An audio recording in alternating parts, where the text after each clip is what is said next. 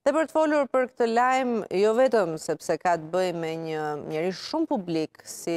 princesha e Uellsit apo mbretresha e ardhshme e Mbretërisë së Bashkuar, por edhe për faktin që ku është kufiri mes publikes dhe privates, deri ku shkon interesi publik, vëmendja, Sidomos në një rast të tillë, pra për të folur për këto tema, kam ftuar në studio Genti Mingën, gazetar, mirë se erdhe, shumë kënaqësi që të kam këtu. Dhe ndërkohë nga Londra do të kemi në lidhje përmes Skype-it Daniel Nikollën, aktivist i diasporës, profesionist i komunikimit dhe marketingut. Daniel, përshëndetje, mirëmbrëma. Përshëndetje, Përshëndetje, mirëmbrëma të dyve. Atëherë, do të doja ta nisja me ty në fakt se si, si është pritur në Britaninë e Madhe ajo video që bëri Kate uh, ditën e premte, do doja ta dija njëherë si e kanë përjetuar vetë britanikët këtë lajm. Po, atëherë kjo ishte në vazhdën e disa komunikimeve që në fakt familja mbretërore kishte kishte nxjerrë jashtë, edhe më më e lokalizuar familja e princit William edhe Kate Middleton. Ë uh, pas asaj fotos që në fakt krijoi uh, një zhurmë shumë të madhe në rrjetet sociale dhe pas një largimi nga jeta publike dhe um, ajo jeta që ata bëjnë në në në në shërbim të vendit prej fundit të, të vitit 2023 nga Kate Middleton, kishin lindur një mori lajmesh, një mori deri diku edhe konspiracionesh, edhe kërkesa nga uh, grupe të ndryshme të shoqërisë, nga nga britanikët vetë për të kuptuar më shumë për gjendjen shëndetësore të të princeshës Kate Middleton. Në momentin që ishte u, u apo u doli video u publikua ku Kate fliste mm. për situatën e saj, ka pasur një lëvizje të të vëmendjes edhe në fakt të simpatisë që është krijuar edhe që është treguar nga komuniteti mbarë, sepse ajo që ishte më përpara ishte lajme të të të pafundme që në fakt e kishin vënë atë si si kryefjalë të çdo gjëje që ndodhte në Britani, kurse tashmë paçka se deri diku mbetet, është më shumë simpatia dhe ka deri diku pak më pak lajme dhe dhe dhe më shumë suport emocional apo suport në mënyra tjera që njerëz të shumë kanë bërë ndaj familjes mbretërore. Lexoja sot njerëz që publikë apo me një profil të lartë, le të themi publik të cilët i kërkonin ndjesë Kate Middletonit, sepse ishin nxituar shumë në përcaktimin e saj, jo photoshopi këtu, jo photoshopi atje, nuk po del, pse nuk po del, etj, etj. Ka emra dhe përse, ka një mea culpa nga këta njerëz publikë të cilët e ngatërrojnë atë kufirin për të cilin do flasim offline, online, deri ku është vëmendja, deri ku duhet të japin shpjegim tek e fundit këta njerëz publikë. Po. Po shumë personazhe publik, edhe në fakt edhe shumë media uh, kryesore në Britani të Madhe. Në fakt uh, edhe media që janë marrë edhe me ne si si komunitet shqiptar që i kanë dhënë vetes të drejtë për të për të përdorur edhe fjalë përtej normales, kanë bërë të njëjtën gjë edhe për familjen mbretërore dhe për Kate Middleton. Dhe unë gjykoj që kjo ka ardhur sepse Princi William në linjën e disa ndryshimeve që ai ka bërë në për në aspektin e komunikimit për familjen e tij, ata kanë vendosur që mos të kontraktojnë më një media dhe të ketë ekskluzivitetin e plotë të ndarjes së lajmit, të fotove dhe çdo gjëje. Po. Po, mirë, Genti vazhdon. Për ndajnë ato si, komunite, si komunikim zyrtar uh, nga kanalët e tyre. E, e qartë, mirë, dua të di tani, sepse më duket sikur edhe dua të filloj dhe me Gentin bisedën, më duket sikur historia përsëritet. Dikur nuk ka pasur media online, por ka pasur paparacë, edhe ata i morën jetën princeshës Diana, e dim. I shkonin po pas në Greqi, në Itali, kudo që shkonte, është me të dashurin, u nda këtu, erdi këtu, hyri në hotel, doli nga hoteli. Këto mediat online tani nuk ka më nevojë për paparacë mbas kaçubes, sepse ai mjafton të ketë një celular, vë një IP fallco, vë një emër fallco, dhe thotë çfarë të dojë dhe si të dojë dhe komenton dhe kam Se është dhe kjo liria e të shprehurit, ë? Kam mendimin tim, thotë. Ne vim të dy nga gazetaria e komunikimi dhe ajo që unë i them shpesh miqve të mi, offline dhe online, është që nuk duhet ngatërruar liria dhe e drejta e të shprehurit me lirinë dhe të drejtën e të fyerit apo të gjuhës së urrejtjes. Dhe sa herë që lexojmë, sidomos në rrjetet sociale ku nuk ka një rregullator, sigurisht që njerëzit ngatërrojnë lirinë e të shprehurit me lirinë edhe gjuhën e urrejtjes, sepse këto janë pak terma, le të themi dhe profesionalë. Sepse çfarë ka ndodhur në unë vi nga gazetaria dhe për fat keq është një industri që për mua dhe për shumë si mua ndërroi, do ndryshoi drastikisht dhe unë kalova për shembull tek komunikimi ndryshe te marrëdhëniet me publikun, tek agjencitë e marketingut e tjerë, sepse dikur komunikimi kalonte në shumë filtra, unë duhet të studioja për gazetari, mm. dhe ky ishte filtri i parë, filtri i dytë ishte që aty ku shkoja kishte redaktor, redaktori kishte një kryeredaktor dhe kryeredaktori një drejtor dhe drejtori një le të themi figurë president një bord, një bord. Kështu që dikur në Ishin të thirrur dhe të detyruar publiku, audienca, të ngrihej dhe në aspektin intelektual, në nivelin intelektual, të ngrihej në nivelin si ai që jetonte në një fshat të Pensilvanisë dhe ai që jetonte në Manhattan, në Wall Street, lexonin, ishin të detyruar të shkonin te niveli i New York Times. Fatkeqësisht, dhe këtë e them dhe si një person që jam diplomuar për gazetari dhe që kam punuar njëzet e dy vite aty, Me ndryshimin dhe ardhjen e rrjeteve sociale, tani janë media qoftë edhe si mm. New York Times apo BBC apo Fox News etj etj, të cilat duhet të shkojnë te niveli i lexuesit. Pra, ndryshimi që ka ndodhur është që dikur edhe lexuesi jo shumë i kualifikuar apo me nivel shumë të lartë për të lexuar, le të themi, kur flasim për nivelin, ishte i detyruar të shkonte te standardet që profesionistët përcaktonin dhe nuk e përcaktonin nga hiçi, e përcaktonin nga shkolla, nga ato filtrat që unë përmenda. Po. Ndërkohë tani ka vajtur media serioze gjithmonë e më shumë, po bie në nivelin e komunikimit sepse është një aty ku jeton ë Danieli. Danieli thonë mm. edhe clickbait, pra është një betejë klikimesh, dhe te kjo loja janë përshirë dhe media shpesh shumë serioze, ose pastaj po flasin për Anglinë, e cila është mëma e tabloideve dhe në një farë mënyre për Anglinë kalimi te rrjetet sociale nuk është shumë ndryshim sepse ata kanë disa nga tabloidet më të jashtëzakonshme në botë, më agresive, kështu që vazhdon tradita online, thjesht. Vazhdon tradita, por me çfarë kostosh, sepse tani Kate Middleton është një grua e cila ka tre fëmijë.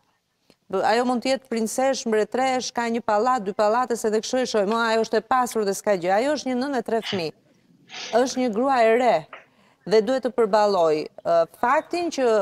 rrezikon jetën e saj, faktin që ka tre fëmijë të cilët do t'i ketë sa më gjatë pranë në jetën e saj, faktin që ka një bashkëshort dhe kështu fillon rrjeti emocional zgjerohet dhe duhet të merret me gjithë Britaninë dhe me gjithë botën që pse s'na the. Dhe meqë përmende fëmijët, fëmijët ishin shkaku që ajo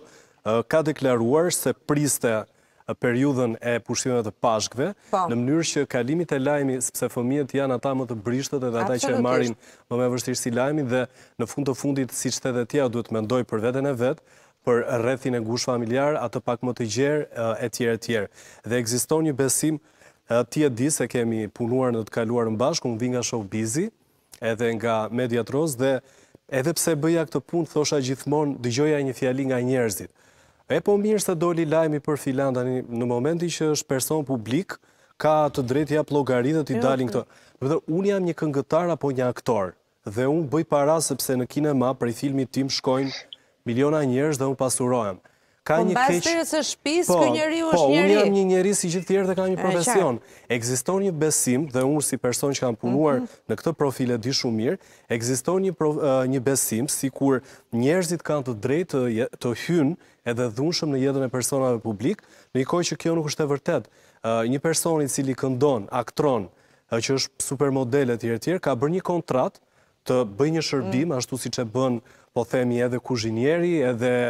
operatori turistik, po, dhe paguhet... Unë e kuptoj këtë, e kuptoj këtë shumë mirë, por unë përsëri e them, edhe Daniel, dua dhe idenë tënde se si është atje, njerëz anonim, se tani mjafton të kesh një IP, vendos një emër anonim, një niknim, edhe, ndoshta edhe nuk ke me çfarë ta mbushësh jetën tënde, edhe merresh me Kate Middleton nga mëngjesi në darkë, edhe nuk e kupton, Duhet thënë sepse dhe s'të kap ligji s'të kap dot edhe policia dhe krimi kibernetik do dojë kohë që të vijë te ty e din këtë lloj avantazhi nuk e di si menaxhohet ky moment atje sidomos tani me rastin e Kejtit se është lakmusi më i mirë për këtë gjuhën e urrejtjes, për këtë gjuhën e errët, njerëz që janë të caktuar edhe merren me një target po që edhe pasi ajo doli dhe u sqarua duhet thënë filluan të merreshin a ishte sfondi natyral apo jo se se qërën si ka unë këto nuk e di filluan të merreshin po kjo është nuk është e sëmurë pse nuk i ka rënë flokët po çfarë ndodh me barkun e saj se duket shumë normal, do të nuk e qartë. Dhe më vjen keq edhe pasi ajo doli, mhm. konspiracionet kanë vazhduar apo jo Daniel?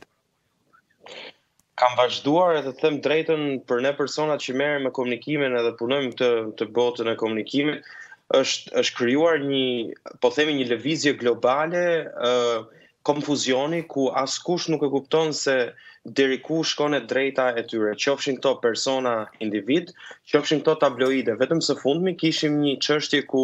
i vllai i princit William, pra Harry, e hodhi në gjyq një nga tabloidet apo shumë tabloide të mëdha britanike dhe ai arriti që të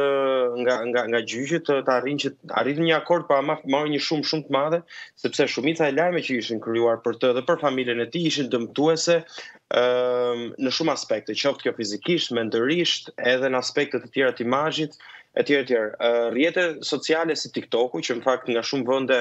po mundohen që të limitohet përdorimi edhe të vendosin edhe disa rregullator, ëm e kanë bërë shumë të lehtë për këdo, sigurisht janë ato personat anonim siç ju e përmendët Mirela, por për në rastin e Kate i kanë lejuar vetes shumë mm. persona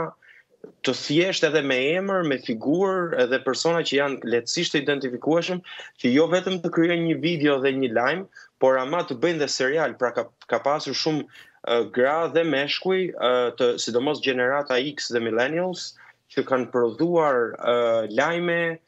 edhe seriale në kanalet e tyra të TikTokut e vetëm e vetëm për të pasur benefite personale, sepse shumica e atyre që janë krijues kontenti në fund të ditës kanë disa statistika ashtu siç funksionon dhe me kanalet televizive që duan të përmirësojnë kanalet e tyre. Por ne, ne duhet vendosim si shoqëri në rang Britani, në rang Shqipëri, në rang global ku janë limitet, cilat janë at, nuk po flasim për etikë dhe për moral këtu, por cilat janë limitet ligjore dhe kjo ka më shtyn që duhet që globalisht të jetë një lëvizje një fushatë shumë e madhe. E kuptoj, kur është problem aty te ju që të zbatohet ligji,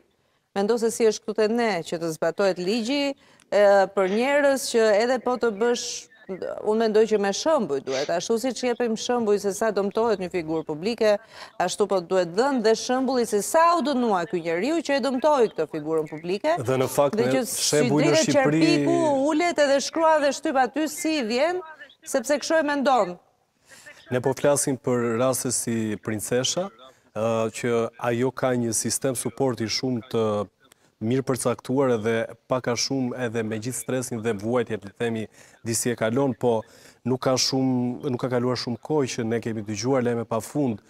vajzash dhe grash të cilat kanë qenë viktima të pikërisht të këtij lumi komentesh edhe përdorimit të rrjeteve sociale, të cilat ose kanë vrarë veten ose kanë probleme të mëdha me familjet e tyre dhe normalisht duhet kuptuar që ne mund të jemi komentues në rrjetet sociale, por ne mund të jemi absolutisht edhe viktima të rrjeteve sociale, sepse princesha gjithsesi është e izoluar në atë botën e vet dhe ka një sistem mjekësor, qoftë dhe psikologjik, një suport shumë të madh, por ka njerëz të thjeshtë të cilët bien pre e kësaj këtij fenomeni të ri që po ndodh që është totalisht i pakontrolluar dhe i parregulluar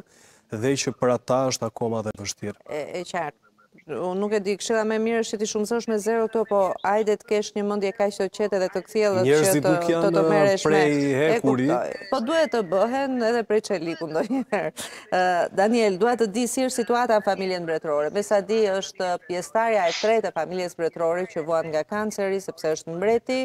është Sara Ferguson, e cila është përsëri pjesë e familjes. Si po përpunohet ky lajm në familjen mbretërore? Ajo që ka ndodhur në muajt e fundit është që dhe mbreti sigurisht që për momentin është larguar nga jeta aktive mbretërore dhe të gjitha detyrat i kanë rënë princit William i cili ishte krahas uh, tezës së tij, pra motrës së mbretit, uh, dhe dy personave të tjerë që përbënin atë, po themi, bordin prej katër personave që kishin të drejtë të përfaqësonin familjen mbretërore, Edhe këta të katërt vetë deri diku kanë qenë të pamundur që të kryejnë detyrat dhe arriti që në një ceremoni uh, mbretërore uh, uh, në Greqi, uh, të shkonte dhe të përfaqësoheshin nga Prince Andrew, i cili në fakt është zgjedhur që të mos uh, përfaqësojë familjen mbretërore në nivele të larta më që prej vitit të kaluar. Pra, flitet sigurisht edhe duket që është një situatë e vështirë dhe përfaqësuesit realë që kanë atë hijeshinë e mbretërisë dhe që kanë eksperiencën e këtyre takimeve deri diku janë të limituar për momentin, por kjo pritej që të ndodhte në gjykimin tim sepse në momentin që kemi një një person në fron siç ishte Mbretëresha Elizabeth për për dekada me radhë dhe plakjen e plejadës së dytë të personave që do vinin më tej për të marrë fronin, kjo do sillte një hendek edhe do krijonte problemet që ka krijuar tani. Por gjykoj që sërish ku ka problematika, ku ka lajme, ku ka situata të vështira, zakonisht këto edhe nga komunikimi e dim që e forcojnë, nëse bëhen mirë e forcojnë çdo çdo unit, çdo kompani, çdo organizatë në këtë rast dhe familjen mbretërore. Kështu që gjykoj që edhe pse situata është tepër e e koklavitur po themi mm -hmm. edhe pak e vështirë në aspektin e përfaqësimit, me shumë mundësi kjo do krijojë terren mbase për afrimin e Harryt, mbase për gjëra të tjera, nuk dihen, këto janë gjëra që familja mbretërore do duhet që t'i shqyrtojë. Tedi, statusi shëndetësor i Kate Middleton si është? Kemi të bëjmë me një para kimio, a i është nënshtruar një kimio të vështirë, çfarë konfirmojnë mjekët, sepse lexoja informacione nga më të ndryshmet në median britanike? Atëherë, me sa kuptoj unë dhe me sa kam lexuar, Kate ka, është në hapat e para të kimios, mm -hmm. jo në ditën që doli video, por më, më parë prej saj, Me sa dihet, ajo ka shkuar për të pasur një ndërhyrje në abdom, pra nuk thuhet tamam cili organ, por aty mund të jetë mund të jetë parë që në fakt ajo ka dhe një problem tjetër që në këtë rast është rasti i kancerit. Mm -hmm. Dhe aty ka filluar i gjithë procesi dhe duket në fakt edhe rënia në peshë dhe shumë gjëra tjera në lidhje me imazhin e saj që tregon që në gjykimin tim a sa kuptoj unë që Kimio ka filluar dhe ajo që thonë doktorët është e vërtetë. Por është preferuar që të mbahet sigurisht në heshtje për për të ruajtur shëndetin e saj në fund të ditës sepse lufta me kancerin e dimë shumë mirë që nuk është një luftë e cila gjithmonë fitohet. E qartë. Pyetja e fundit për ty është a është një personazh kaq i dashur Katie sa ç'ka qenë Diana? Mund të them që Kate Middleton është një nga personazhet më të dashur të familjes mbretërore, që në momentin që është njohur me princin William, që prej martesës tyre, asaj madhështie që pati martesa dhe